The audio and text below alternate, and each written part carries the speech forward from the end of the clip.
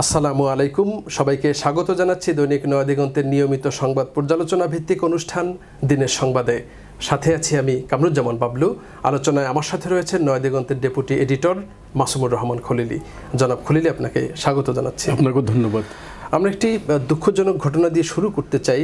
আমরা জানি যে আজকে গণমাধ্যমে সকাল থেকে অনলাইন ভার্সনগুলোতে আমরা দেখতে পাচ্ছি যে বুয়েটের একজন শিক্ষার্থী দ্বিতীয় বর্ষের শিক্ষার্থী তাকে নির্মমভাবে পিটিয়ে হত্যা করা হয়েছে এবং তার লাশ উদ্ধার করা হয়েছে এবং এই ঘটনায় মোটামুটিভাবে প্রাথমিকভাবে যে ধারণা পাওয়া গেছে এবং পুলিশ বলেছেও যে সুনির্দিষ্ট তথ্যের ভিত্তিতেই তারা এখন পর্যন্ত ছয়জন ছাত্রলীগ নেতাকে আটক করেছে।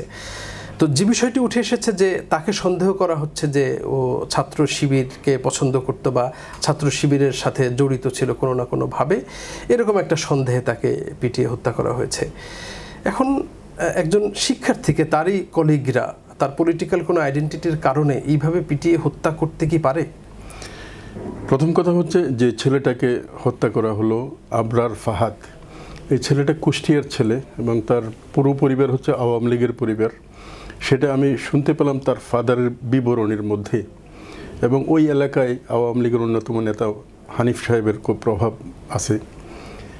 এটা হচ্ছে একটা দিক। এই ছেলেটা, বুয়েট খুব প্রতিভাবান ছেলে যে মেডিকেলে, বুয়েটে এবং ঢাকা ইউনিভার্সিটিতে একসাথে চান্স পেয়েছিল। এই কথাগুলি বলছিল, তার মা খুব শোকাচ্ছন্ন হয়ে আর কি, এটা শোনার মতো না, এত করুণ একটা অবস্থা। একটা কথা হচ্ছে কি, আপনি যেটা বললেন, শিবির নাম দিয়ে হত্যা করা। আসলে বুয়েটে কিছুদিন ধরেই এ ধরনের একটা শ্বাসরুদ্ধকর অবস্থা কিন্তু বিরাজ করছিল। যে কোনো একটা ছেলেকে ভিক্টিমাইজ করার জন্য নাম দেওয়া হয় শিবির। কেউ হয়তো একটা নামাজ পড়ে বা এরকম করে তাকে হত্যা করা হচ্ছে। আপনাদের ক্ষেত্রে সবচেয়ে ভয়ঙ্কর যে বিষয়টা, সেটা হচ্ছে একটা স্ট্যাটাস দেয়াকে কেন্দ্র করে কিন্তু তাকে উঠায় নিয়ে যাওয়া হয়। সেই স্ট্যাটাসটা কি? প্রাইম মিনিস্টারের এই যে ভারত সফরের পরে যে চুক্তিগুলো হলো, যেমন ফেনী নদীর পানি দেয়া, তিস্তার পানি না পাওয়া, তারপর ত্রিপুরা দিয়ে গ্যাস দেওয়ার বিষয়টা, তরল গ্যাস, এই ইস্যুগুলো নিয়ে একদম সাদামাটা একটা স্ট্যাটাস দিয়েছে। আমি তার ফেসবুকে গেছিলাম এবং ডিটেইল দেখছি, এই ছেলেটার কোনো রাজনৈতিক সম্পৃক্ততা আছে বল, নেই বলে যে দাবিটা তার পরিবার থেকে করা হচ্ছে। তার আগাগোড়া ইয়েতে কিন্তু সেটাই মনে হয়, কোনো রাজনৈতিক সম্পৃক্ততা নেই। আর যদি মনে করেন, যদি ফ্যামিলির পক্ষ থেকে ও তবলিগে যাওয়ার কিছু কথা বলা হচ্ছে এই জন্য তার মধ্যে একটা ধার্মিকতা আছে। মনে করেন যুক্তির কাছে ধরেই নিলাম ও শিবিরের কর্মী। শিবির কি বাংলাদেশে কোনো নিষিদ্ধ সংগঠন? শিবিরের সাথে যদি কেউ যুক্ত থেকে থাকে তাহলে কি তাকে হত্যা করা যাবে এভাবে? আর যদি কোনো নিষিদ্ধ সংগঠনও হয় তাহলে সেই নিষিদ্ধ সংগঠনের সদস্য হলে কি তাকে মেরে ফেলা যাবে? এই বিষয়গুলো কিন্তু খুব ভাইটাল বিষয়। আমি সোশ্যাল মিডিয়াতে দেখে আসছিলাম আমাদের একজন প্রাক্তন সহকর্মী প্রথম আলো সাংবাদিক সৌগাত আলী। উনি একটা স্ট্যাটাস দিয়েছে। উনি এই প্রশ্নগুলি কিন্তু করেছেন। উনি এখন কানাডাতে থাকেন।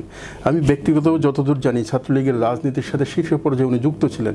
কিন্তু ওনার মানবিক ইয়ে থেকে যে প্রশ্নগুলি তুলেছেন, আমি মনে হয় এটা জাতির প্রশ্ন। এটা তো হতে পারে না। বুয়েটের মতো একটা বিশ্ববিদ্যালয়ের মেধাবী ছাত্র সে একটা ফেসবুকে স্ট্যাটাস দেওয়ার কারণে যে স্ট্যাটাসটা শুধুমাত্র বাংলাদেশের স্বার্থ নিয়ে কথা তাহলে কি কেউ মুক্তভাবে কথা বলতে পারবে না? এজন্য হত্যা করা হবে। এটা বাংলাদেশ বাংলাদেশের রাজনীতি বাংলাদেশের গণতন্ত্র সব বিষয়ের জন্য একটা অ্যালার্মিং সিচুয়েশন একটা অ্যালার্মিং সিগন্যাল দিচ্ছে। আর যে কোনো ঘটনায় বিচারের দায়িত্বে তো সুনির্দিষ্ট সংস্থা আছে। আইন শৃঙ্খলা রক্ষাকারী বাহিনী দেখবে এরপরে আদালত আছে। তুলে নিল মেরে ফেলল। বিষয়টা অন্যরকম এটা অদ্ভুত। এটা হচ্ছে কি আসলে কি বলব? বাংলাদেশে ক্রস ফায়ার দিয়ে শুরু হয়ে গেছে। এই কোনো সময় কি হার্ট জানি নাম দিয়েছিল আর কি। এই বিচার বহির্ভূত প্রতিটা হত্যাকাণ্ড প্রতিটা ঘটনা কিন্তু নিন্দনীয়। অপারেশন ক্লিন হার্ট এগুলো কিন্তু ধীরে ধীরে একটা জাতিকে একটা দেশকে বিচারহীনতার দিকে উশৃঙ্খলতার দিকে নিয়ে যায় যেখানে মানুষের আর জীবন নিরাপদ থাকে না। আপনি কিছুদিন আগেই দেখছেন একটা মেয়েকে ছেলে ধরা বলে মেরেই ফেলল তার দুটো ছোটো ছোটো বাচ্চা আছে। অথচ আগামী হয়তো কিছুদিনের মধ্যে বাচ্চাদেরকে নিয়ে আমেরিকা চলে যাওয়ার কথা ছিল। একদম নিরপরাধ একটা দম। এবং এই ঘটনা প্রায় ঘটছে। আমার মনে হয় বাংলাদেশ রাষ্ট্রের বাংলাদেশ নিয়ে যারা চিন্তা ভাবনা করে তাদের ভাবার দরকার আছে আসলে আমরা কোন দিকে এগুচ্ছি। রাজনীতির নামে অরাজনীতি আইন শৃঙ্খলার নামে আইন হাতে তুলে নেওয়া এই যে প্রবণতাগুলো আমাদেরকে কোন দিকে নিয়ে যাচ্ছে এটার ব্যাপারে মনে হয় সিরিয়াসলি আমাদের ভাবার দরকার আচ্ছা আরেকটি বিষয় আপনাদের কাছে একটু কি মনে হয়? সেটি হচ্ছে ধরেন রাজনৈতিক প্রতিপক্ষ এটি তো ছিল সবসময় থাকবে।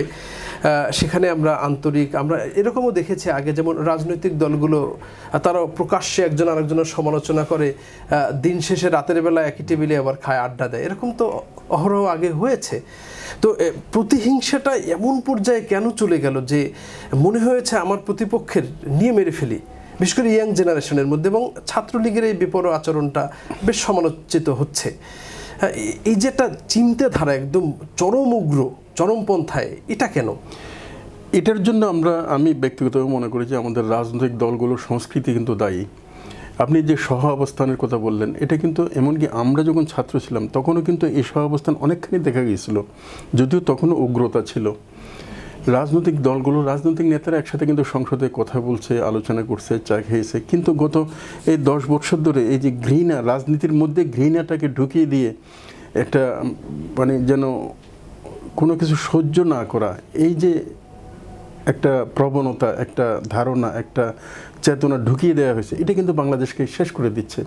আমার ধারণা হয় কি, ধরুন আমাদের বাংলাদেশে এমন অনেক ফ্যামিলি পাবেন, যে ফ্যামিলির এক সন্তান আওয়ামী লীগ করে বা ছাত্রলীগ করে, আরেক সন্তান বিএনপি অথবা ছাত্রদল করে, আরেক সন্তান হয়তো জাতীয় পার্টি করে, অথবা আরেক সন্তান জামাত ইসলামী করে। তো এখন চার ভাই আবার একসাথে সব কাজ করছে, অতএব এই যে সহিষ্ণুতা সম অবস্থানটা এই অবস্থানটাকে যারা বাংলাদেশ এগিয়ে যাকে এটা চায় না তারা মনে হয় সহ্য করতে পারে না। যার কারণে ঘৃণার রাজনীতি বাংলাদেশে ঢুকিয়ে দিয়েছে। এটা তরুণ এবং যুবকদের মধ্যে বিশেষভাবে দিয়েছে। এই অবস্থা থেকে কিন্তু আমাদের মুক্ত হতে হবে। রাজনীতি থাকবে বিরোধ থাকবে ফলাফলটা তো অনেক ভয়াবহ। ভয়ঙ্কর এক কথায়। এটা হবে কি আমরা নিজেরা নিজেরা মারামারি করব তখন দেখা যাবে যে বাংলাদেশের স্বাধীনতা সার্বভৌমত্ব নিয়ে অন্যরা তাদের মতো প্ল্যান করে বাংলাদেশকে পতাকাবিহীন, স্বাধীনতাবিহীন, সার্বভৌমত্ববিহীন একটা জাতিতে পরিণত করেছে। তো এবার একটু আমি নাগরিক ঐক্যের আহ্বায়ক মাহমুদুর রহমান মান্নার একটি বক্তব্যের দিকে আসতে চাই। তিনি বেশ কড়া ভাষায় প্রধানমন্ত্রী শেখ হাসিনার ভারত সফরের সমালোচনা করেছেন। তিনি বলেছেন যে এই সফরের মধ্য দিয়ে শেখ হাসিনা আসলে ব্যর্থ হয়েছে। যে চুক্তিগুলো হয়েছে চুক্তিগুলো আসলে দেশের স্বার্থে হয়নি, অনেকটা নত জানো এরকম বেশ অনেক ধরনের সমালোচনা তিনি করেছেন। তো মাহমুদুর রহমান মান্নার এই বক্তব্যকে আপনি কীভাবে দেখেন? মাহমুদুর রহমান মান্না তো একজন রাজনীতিবিদ, স্বাভাবিকভাবে উনি সমালোচনা করতে পারেন। তবে প্রধানমন্ত্রীর ভারত সফরের এজেন্ডাগুলো যদি আমরা দেখি বা ইস্যুগুলো যদি দেখি, চুক্তি এবং সমঝোতাগুলো যদি আমরা দেখি, তাতে মনে হবে যে ভারতের যে ইস্যুগুলো ছিল, এগুলো এক এক করে অ্যাড্রেস করা হয়েছে। কিন্তু বাংলাদেশের কোনো ইস্যু, কিছু আশ্বাসবাণী ছাড়া কিছু হয়নি। এক্ষেত্রে কয়েকটা সুনির্দিষ্ট বিষয় উল্লেখ করা যায়। প্রথম হচ্ছে আমরা ফেনী নদীর পানি ত্রিপুরার জন্য দিয়ে দেওয়ার একটা চুক্তি আমরা করেছি। এর বিপরীতে এটার সাথে সংযুক্ত ছিল তিস্তার পানি বন্টন চুক্তি। তিস্তার ব্যাপারে সেই পুরনো আশ্বাস বাণী ছাড়া আমরা কিছুই পাইনি। আমরা তরল গ্যাস ত্রিপুরা দেওয়ার জন্য রাজি হলাম, কিন্তু এর বিনিময়ে আমাদের কোনো প্রাপ্তি নেই। আপনি জানেন বাংলাদেশ সাড়ে তিন দিকে হচ্ছে ভারতের স্থলবাগ দিয়ে বেষ্টিত, আর অল্প একটু সাইড ছিল হচ্ছে বঙ্গোপসাগর। এখন এই সফরের সময় যে চুক্তিটা হলো, সেটা হচ্ছে রাডার পর্যবেক্ষণ করার একটা ব্যবস্থা করা হয়েছে যেখানে ভারতীয়রা থাকবে। ভারত এবং বাংলাদেশ যৌথভাবে বাংলাদেশের উপকূলীয় অঞ্চলে পর্যবেক্ষণের মধ্যে রাখবে, দেখবে। তার মানে হচ্ছে কি আমাদের যে একটা অঞ্চল খোলা ছিল এবং সেটা কিন্তু এখন লকড হয়ে গেল। কারণ এখানে শুধু এটা বাংলাদেশের নিয়ন্ত্রণ আর থাকল না। স্থল সীমান্ত যেটা ভারত বেষ্টিত ভারতের নিয়ন্ত্রণ আছেই। অন্যদিকে যে সমুদ্র সীমান্ত যেটা, এটাও কিন্তু আর আমাদের পুরা নিজস্ব কর্তৃত্ব থাকল না। যাই হোক এটা কোনোভাবেই আমরা বাংলাদেশের স্বার্থের জন্য ইতিবাচক আমরা ভাবতে পারি না। আর এটার বহু কৌশলগত এবং নিরাপত্তাগত কিন্তু একটা দীর্ঘমেয়াদী একটা এটার ইমপ্লিকেশন আছে। এখন ভারতের আমরা আমরা আরও অনেক দিন ধরে লক্ষ্য করেছি, আপনিও নিশ্চয়ই লক্ষ্য করেছেন, সেটি হচ্ছে ভারতের যখন কোনো মন্ত্রীরা আসেন অথবা কোনো যৌথ সংবাদ সম্মেলন হয় যখনই সফরে, ভারতের মন্ত্রী বা প্রতিমন্ত্রী, উপমন্ত্রী যারাই আসুক সবাই মিডিয়ার সামনে এসেই একটা কথা বলেন। আমাদের বন্ধুত্ব সর্বোচ্চ লেভেলে রয়েছে। আমরা মানে এরকম কিছু কথাবার্তা শুধু এইগুলোই বলতে থাকেন। এগুলো হয় কি? কাজের কাজ তো কিছু হয় না। এগুলো হয় কি? রেটরিক দিয়ে প্রকৃত জিনিসটাকে ধামাচাপা দিতে চেষ্টা করা হয়। যেমন বাংলাদেশের আপনি শতকরা হয়তো নব্বই পঁচানব্বই ভাগ মানুষের উদ্বেগ হচ্ছে এনআরসি দিয়ে। তার মানে হচ্ছে বাংলাদেশ থেকে ভারতে অনুপ্রবেশ করা হয়েছে। এই ইস্যু নিয়ে আসামে এখন প্রায় উনিশ লক্ষ মানুষকে অনাগরিক ঘোষণা করা হয়েছে। এবং বলা হচ্ছে এরা বাংলাদেশ থেকে গেছে এবং ভারতের ক্ষমতাসীন দলের শীর্ষ পর্যায়ের নেতারা বলতেছে তাদেরকে বাংলাদেশে ঠেলে দেওয়া হবে। শুধু তা না, পশ্চিমবঙ্গে এটা বলা হচ্ছে প্রায় এনআরসি করে দুই কোটির মতো মানুষকে বাংলাদেশ অনাগরিক ঘোষণা করা হবে এবং তাদের বাংলাদেশে পাঠানো হবে। এই কথাগুলো অমিত শাহের মতো একজন ব্যক্তি বলছেন। আবার এও বলা হচ্ছে এইরকম এনআরসি সারা ভারতে করা হবে এবং বেছে বেছে অনাগরিকদের, অনুপ্রবেশকারীদের বাংলাদেশে পাঠানো হবে বা অন্য দেশে পাঠানো হবে। কারা অনাগরিক, কোনো হিন্দু অনাগরিক হবে না, তাদেরকে আবার সিটিজেনশিপ দেওয়া হবে। এমনকি খ্রিস্টান বৌদ্ধদেরকেও সিটিজেনশিপ দেওয়া হবে কেবলমাত্র মুসলমানদেরকে পাঠিয়ে দেওয়া হবে। তাহলে মুসলমানদেরকে কোন দেশে পাঠানো হবে? বাংলাদেশে পাঠানো হতে পারে পাকিস্তানে পাঠানো হতে পারে। তাহলে এটি কি বাংলাদেশের একটা সমস্যা না? আপনি দুই নেতার যে যৌথ ঘোষণা এই ঘোষণায় এই এনআরসির প্রসঙ্গটা কিন্তু আসে নাই। যদি বলা হতো যে না এই এনআরসির বিষয়টা বাংলাদেশের উদ্বেগের কোনো কারণ হবে না। তেপ্পান্নটি যে পয়েন্ট যৌথ স্টেটমেন্ট সেখানে কোথাও এনআরসি কোথাও এনআরসির বিষয়টা নেই। তো ফলে বাংলাদেশের ইস্যুগুলো যে আসলে উপেক্ষিত থেকে গেছে যেটা আপনি মাহমুদুর রহমান মান্নার কথায় বললেন এটা তো অস্বীকার করার কোনো উপায় নেই।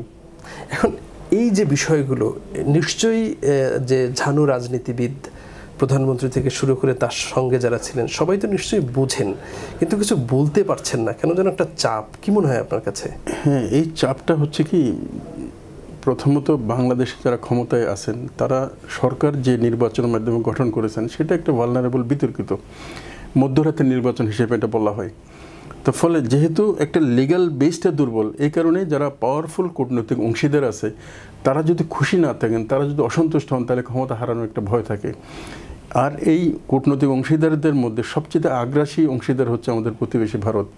তো এখন ভারত যদি কোনো কারণে সরকারের উপর তুষ্ট হয় অসন্তুষ্ট হয় তাহলে তারা এমন কিছু টুলস ইউজ করতে পারে যে টুলসগুলো ইউজ করার কারণে এখানে সরকার হয়তো ক্ষমতা হারাইতে পারে।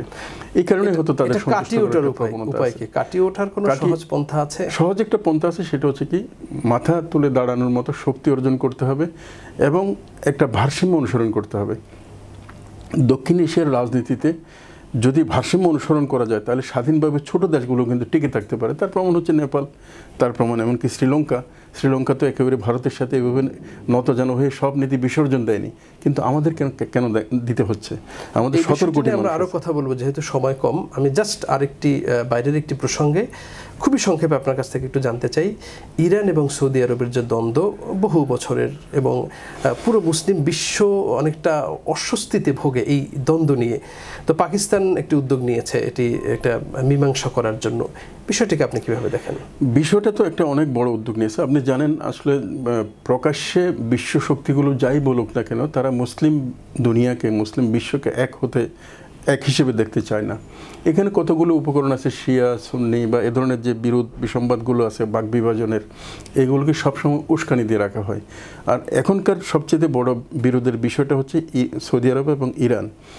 পাকিস্তান খুব ভালো একটা উদ্যোগ নিয়েছে। পাকিস্তানের প্রধানমন্ত্রী ইমরান খান আলাপ আলোচনার মাধ্যমে এটা সমাধান করা। কিন্তু এর একটা নেতিবাচক দিক এই হচ্ছে, ইমরান খানকে এই কাজে কিন্তু সফ- সফল হতে দেয়া হবে না হয়তো। দেয়া হবে না এই কারণে যদি এই দুই পক্ষের বিরোধ মিটে যায়, তাহলে কিন্তু এটা ইতিবাচক প্রভাব পুরো মুসলিম বিশ্বে পড়বে। আপনি জানেন, মাঝখান দিয়ে এই ইরাকের সরকার কিন্তু এটা একটা মীমাংসার উদ্যোগ নিয়েছিল আর কি। এরপর থেকে হঠাৎ দেখা গেল যে ইরাকে অশান্তি শত মানুষ মারা যাচ্ছে বিক্ষোভ ইত্যাদি। আর ইমরান খান জাতিসংঘে এই ভাষণ দেওয়ার পরে এবং এই উদ্যোগগুলো নেওয়ার পরে পাকিস্তান হঠাৎ করে রাজনৈতিক অস্থিরতা দেখা যাচ্ছে। ফলে কাজটা কিন্তু খুব সহজ হবে না। যদি হয় তাহলে এটা অনেক মঙ্গলজনক হবে।